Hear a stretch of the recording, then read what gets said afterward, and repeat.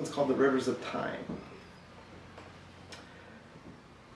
Primo wants to play hide and seek, and he's almost eight, so he's good at hiding now and remaining quiet, and not letting me in on his secrets anymore. And of course, Secondo wants to play with us, but he's not quite two and still thinks I can't see him when he covers his head with a shirt.